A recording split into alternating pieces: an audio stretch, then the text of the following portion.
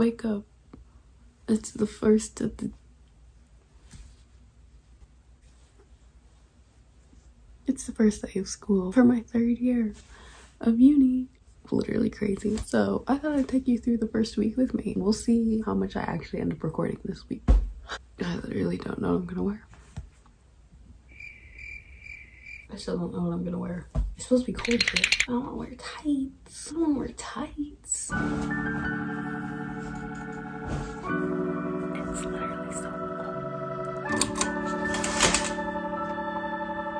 What would I wear?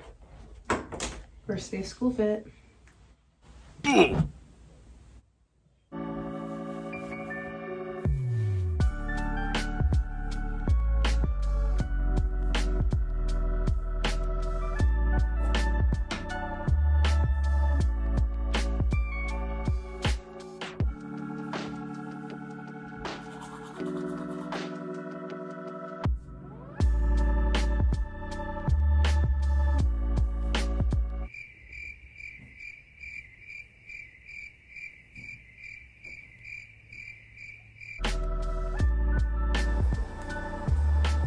Usually after I'm done getting ready, I sit here in front of my mirror and I do my makeup and I put on my jewelry. I'm kind of excited for today, but also like it's only one class, so it's also like excited to see people again, chat. I was already looking at my syllabus and I already have an assignment due next week. Mm. And I have so much group work this semester, like and usually I'm the kind of girl that like within the first week I'm like I'm gonna start my assignments now. Like I'm gonna start grinding them out. I can't because I don't even know who my groups are yet. Usually in group work no one tries to get ahead like that. I don't know there's not really much going on today. And it's usually just going over the course outline and stuff and like getting to know each other. I literally have one class where week one is literally just like going through the course outline and it's a three hour class don't look at my mascara face. Okay, I'm gonna come back because my mascara usually takes me five minutes to do, even though it barely shows up on camera. Okay, I'm done. My Can you tell? Also, I have an eyelash that just goes straight down. Whenever I put on mascara, it's always like hitting bottom lashes and like getting stuck. Okay, now jewelry. Okay, the question is, do I wear the turtle necklace my sister just bought me? Or do I wear the heart necklace I just bought myself that I have matching with my sister? I think I'm gonna wear the turtle one. Turtle. Most important thing you have to bring to school, lip balm.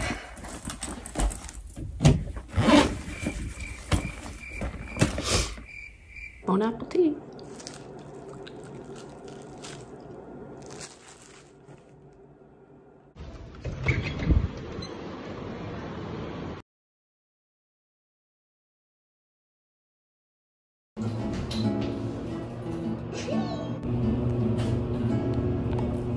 My first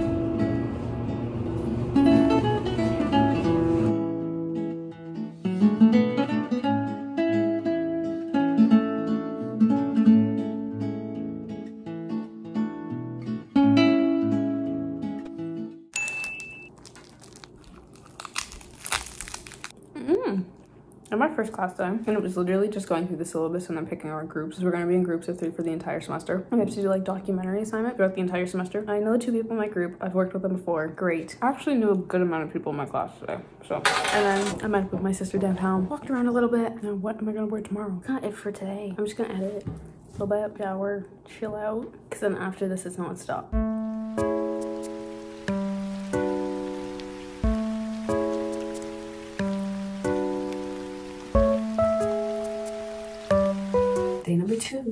Supposed to be warmer today, so I kind of want to wear shorts. But like, am I gonna freeze? What I'm thinking, shorts, cute white top, and a sweater so I don't freeze. Is it cute?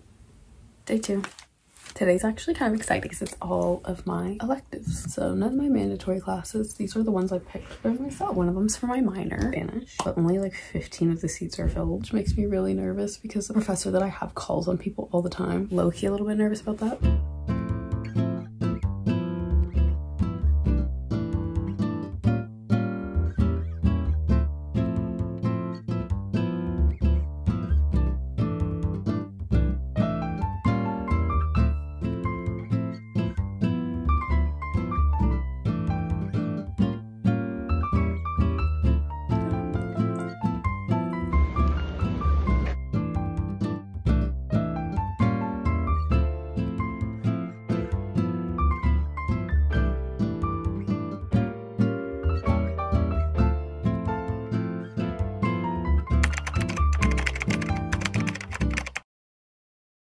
First day, done. Would not recommend. I'm trying to get a minor in Spanish and I haven't studied all summer, literally all summer. I don't know why I thought I could just walk into literally intermediate Spanish and understand what was going on. It was like everything that I've learned in the last two years left my brain, gone. My teacher's speaking the entire two hours and floats Spanish and then decides to go around the class and ask everybody questions in Spanish. And everyone's having five minute full out conversations with her. Me, I sat there like, silence. And because we're more intermediate, the class size gets smaller. There's 10 of us in there.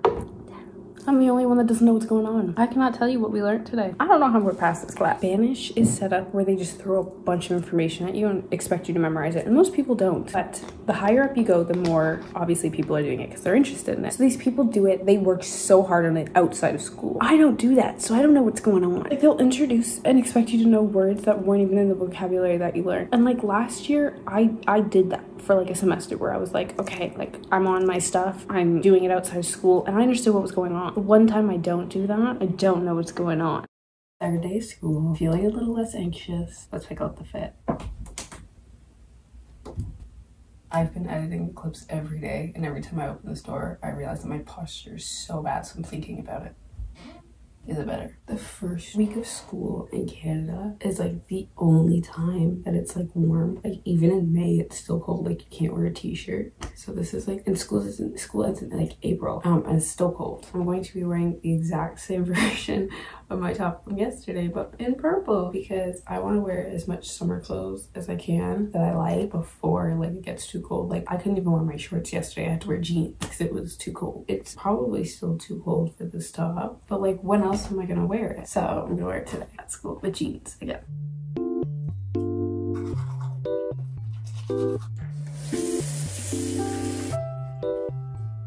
Okay.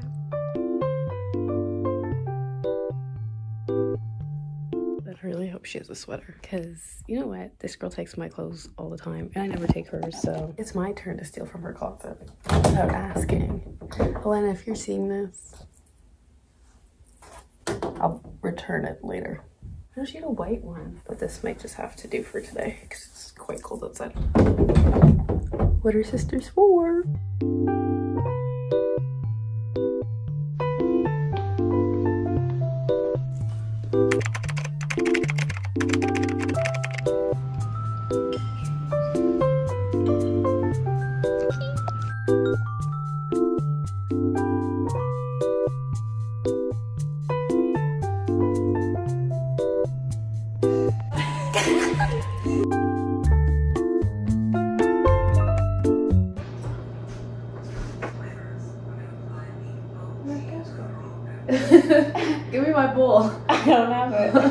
Give, give me my bowl. Wait, man. no bowl on Where? What do you mean where?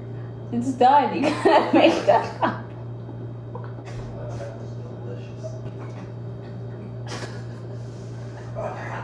What's wrong with you guys? You can't just leave it there. It was cooling down. You guys already ate, you big bag. Look at this dessert. Those are so annoying. Give me my bowl. Give me my bowl. Where's my bowl? It's literally Friday and it's 12.31 p.m. And I'm literally supposed to be catching a train in like two minutes. But I dropped out of a class last night. Quick little transparency moment. Last year, I took six courses every semester. And you're usually just supposed to take five. Like that's just what's required. But I decided to fast track because I wanted to go on exchange. So I was fast tracking like all my Spanish and stuff. And um I was driving for two things, to go on exchange and to get my minor in Spanish. The exchange thing didn't end up working out. In a nutshell, when you go on exchange, you get credits for your mandatory classes where there's no guarantee that if you take an elective there, it'll count for your elective back at school. So I was taking six courses because I want to get my minor in Spanish. I knew I was not gonna be able to take a Spanish course then, so I was literally gonna take a Spanish course in the summer before I went on exchange. And then I took two extra classes in my second year so that it can make up for what I'm missing that one semester that I'm going because I would have had to take two electives. So that would have been made up for my second year. Finished my second year and I find out I don't get the opportunity that I wanted for exchange. So already I'm like grappling with the fact that like I worked my butt off last year, had many sleepless nights, cried, isolated myself. Like I did all that to not get the exchange opportunity. Then I'm like going pursuing Spanish and I think what's hard is like they throw so much information at you in such a short period of time and they expect you to know everything. I feel like the more you advance advance in these classes, like the Spanish classes that I'm taking at my university, the more you have to work on it also outside of school. I was using Hello Talk and I was talking to people like every day for like one semester and it improved my like Spanish a lot. Like I have practiced my Spanish in the classroom. I've showed up to every class, but I haven't practiced outside of the classroom. And when I say I haven't practiced outside of the classroom, I don't mean I didn't study for my tests and I didn't do my homework. I studied for my tests and I did my homework, but I didn't continue my education through watching shows and listening to music and watching movies and YouTube channels. Like I didn't immerse myself in the language in that way and it set me so far back. So I had to drop out of Spanish and now I'm grappling the fact that I'm no longer going for a minor in Spanish, which like hurts a little bit because it's like everything that I put myself through last year was kind of for nothing. And I just switched into a new elective. That's something I'm not really interested in because all the electives are kind of booked up right now. So I feel like I'm gonna have a much easier semester, which I don't think I've had in a while, which is good. It's gonna kind of be a relief to not have the anxiety of like doing an oral exam for Spanish, which is nice. It's just hard because it feels like I could push through, but I'm so far gone. Like I'm not anywhere close to where I need to be for this course, which hurts. We we move on. We push through. It's fun. I was going to show you guys what I like to do to prepare myself for the semester that I'm going into. Just like little tips, things that I do just to keep myself on track. And I thought I'd set up everything with you and show you. I have love my laptop here. So I have this Google Doc here that I use to like keep track of like everything that I've like all of my assignments, absolutely every single assignment. This is an example of the one that I had last semester. But what I do is I put down everything that needs to get done, every little thing. So if I have like a homework assignment due every Saturday that I have to submit, I will put every week that I have homework and I always put like my grades down, how much it weighs, if it's in progress, if I completed it, course code, when it's due, all that. So I have a complete chart and every time I finish an assignment or I start an assignment, I go through, I press in progress, and it just helps me get like an overview of like how many assignments I have throughout the semester, how many I finished, how many more I have upcoming. And this is gonna go hand in hand with something else I'm gonna show. So, and I find first thing that's due is subject introduction, and this is due in my second week. So I'm gonna go over here. I'm gonna put subject introduction. This is for my class and it's due. So usually I don't put like week two because that really confuses me because a lot of things can be due in week two. So I try to put the actual day that it's due. So I'll put September 10th. And right now it is in progress and it's worth 10% of my grade. So 10%. So once it's done, I'll highlight this green and I'll put that it's complete. So usually I put whatever grade I got. So like, let's say I got like 90% on it. I'll put 90% and then in brackets, I'll put like nine out of 10. So I know how much that's worth of my overall grade. So I know like, okay, right now my overall grade, I have 9%, but I got 90% on the assignment, if that makes sense. So I'm just gonna go through every single syllabus that I have and I'm gonna mark down every single assignment that I have and I do it in order by day so that I can say like, okay, this week I have these assignments due and they're all back to back and I can see which one is like due first that week. And then I just go from there. Okay, it's literally a complete completely different day because life just kind of happened. Finished the whole list, and now this is the second part that goes hand in hand with what I was talking about. You even see? Now that the list is all finished, you're gonna pull up your list. What I do is I use my whiteboard for this next part, and now I'm gonna pull up a calendar. Now you're just gonna make a mini calendar. So first, it's September. I'm just gonna use this so I can figure out like how wide I want all my spaces to be. Good space for one. You may be wondering, oh my gosh, let me bring you guys so much closer. Calendar. So what you're gonna do is you're gonna label Monday, Tuesday, Wednesday, Thursday, Friday, and then I don't have enough space to do Saturday, Sunday, so I just put weekend. This changes every two weeks. So I'm gonna put the numbers down for not the month. This is not for September. So I'm not putting like week day one, day two. No, because that already passed. I try to keep it as up to date as possible. So what I'm gonna do is I'm gonna put the week that I'm on now. So it's literally Monday right now and it's the 9th. And the weekend's two days. So remember to put two numbers because I always forget that. So already this goes into October, which is completely fine. What this does is this just gives me a good view of like what's coming up. So now I'm gonna refer back to my list list over here. And the first assignment that I have due is the subject introduction, which is literally due tomorrow. I have a marker and I have sticky notes. I usually do different color sticky notes for each class. So like this orange is gonna be my film tech class. I have, I'll write it down. First assignment, subject intro.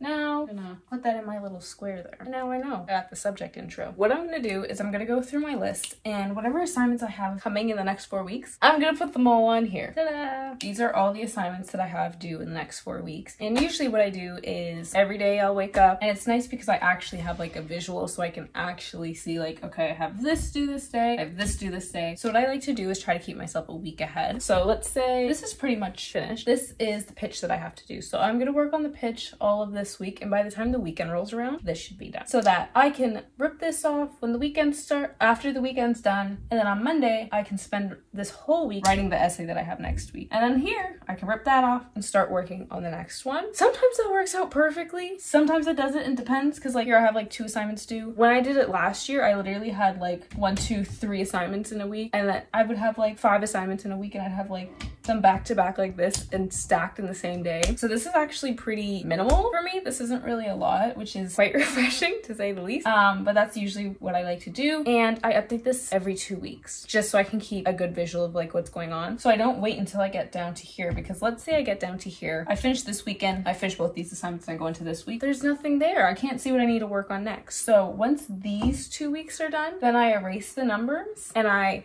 put in the numbers for whatever week I'm in, and then I just move these up two rows.